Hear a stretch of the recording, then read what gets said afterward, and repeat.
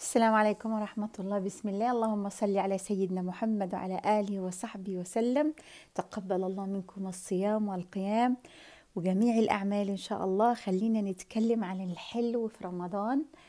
آه قليل من الحلو كثير من المشروبات بيمشي الحال كويس قوي. يعني أنا لو خدت حتة كنافة صغيرة قد دي شوفوا الصغيرة دي بيمشي حالها قوي بيمشي حالها جدا. وهقول لكم بقى على طريقة نعمل بيها الشربات الكويس okay؟ إيه، أشرب إيه بقى مع الحلو الكبار يعني خلينا من الشباب وال وال والبنات وكل الصغيرين بيمشي حالهم طبعا قوي مع يعني شوية من الحلو بعد الأكل ما فيش أي مشكلة okay؟ بس بالنسبة لنا إحنا الكوباية الجميلة دي من شاي أوراق الزيتون تحفة. يعني مهما أكلته حلو مش هيأثر فيكم طبعا هاكل باعتدال حاجة صغيرة. okay. هنيجي نتكلم على الشربات النهاردة أو القطر إزاي نعمله بطريقة إلى حد كبير صحية. يعني نبعد عن السكر الأبيض ده خالص. خلينا في حاجة اسمها السكر الخام. السكر الخام كتير مختلف عن الأبيض ولسه في بعض ال- fiber اللي هو الألياف وبعض المعادن. يعني مش مغسول ولا متكرر ولا حصل له أي حاجة. اللي هو بيكون الخلاصة بتاع مركز عصير القصب بيطلعوا منه حاجة زي دي. هنا أمريكا الجنوبية بيسموها panela panela. ودي عبارة عن سكر خام هوريكم جماله طعمه مختلف جدا عن السكر الأبيض. okay? هو بيكون شكله كده. آه، الهنود عندهم نفس الكلام اسمه jaggery تقريبا أو jaggery حاجة كده. okay? يعني ممكن اللي عندهم محلات هنود في البلد عندهم هيلاقوا فيها أو محلات الأسبان هيلاقوا فيها. okay? أو ال raw sugar اللي هو نفسه ده نفسه ده نفس السكر الخام ده بس بيعملوا منه حبيبات اللي أنا هعمل بيه دلوقتي اللي هعمل لكم بيه الشربات فده أنا ممكن أعمله أعمل منه شربات هيبقى كتير معقول. لك أنا 50 50% من المشكلة بتاعه السكر الأبيض آه، راحت.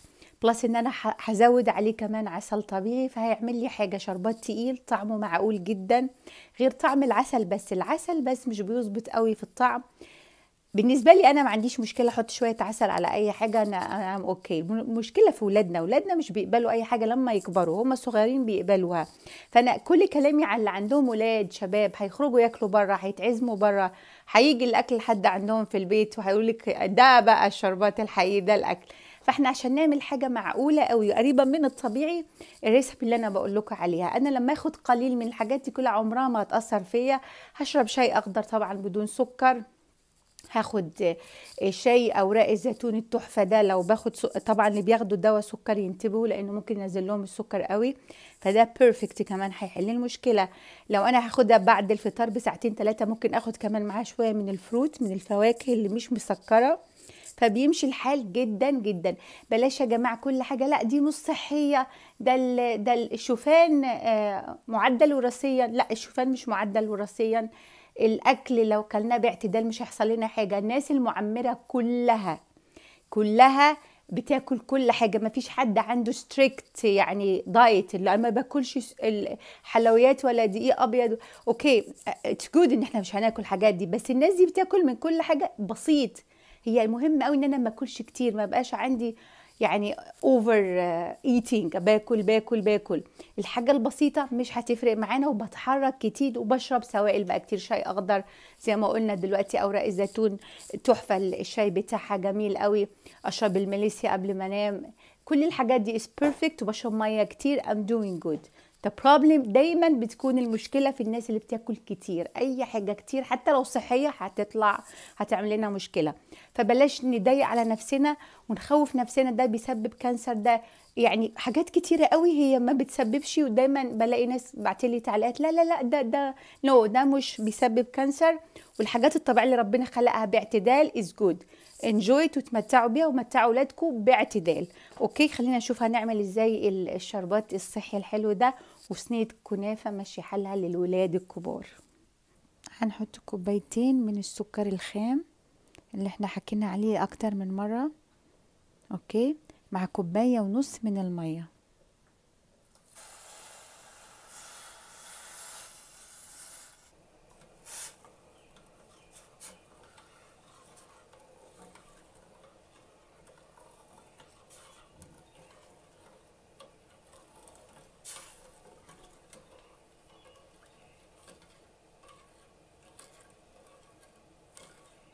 ده القوام المطلوب بقى بقى كده متماسك إلى حد ما.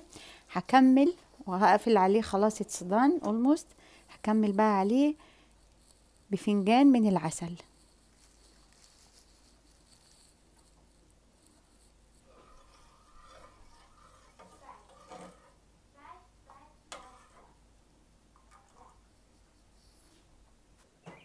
شوفوا القوام قوام العسل بالظبط.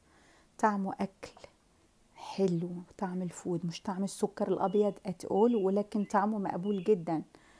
طبعا الأفضل أنا هستعمل منه طبعا بالمعقول والأفضل إن أنا أستعمل عسل النحل الناس اللي يعني عاوزة حاجة really healthy يبقى عسل النحل.